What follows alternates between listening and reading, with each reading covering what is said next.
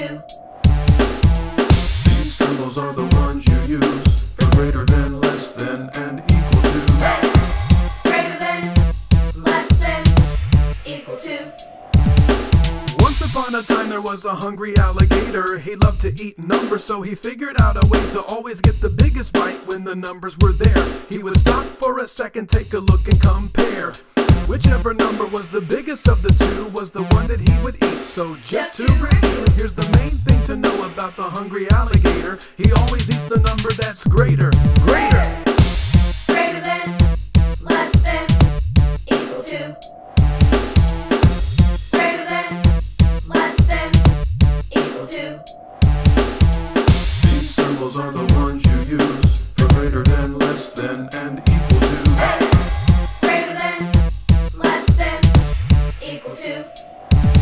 The greater than symbol points to the right. The less than symbol points to the left. The symbol always points to the number that's smaller. I'd like to tell you more, but I'm running out of breath. Sometimes it can be hard to remember which symbol is which, so here's a simple little tip. The less than symbol is shaped like an L. Just remember L for less, that's how you can tell.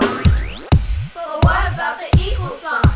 Now here's what it means when you see the equal sign. The value of the numbers is the same on both sides. But on the other hand, greater than and less than are called inequalities because Because they're they're not equal, man. Greater than, less than, equal to. Greater than, less than, equal to. These symbols are the ones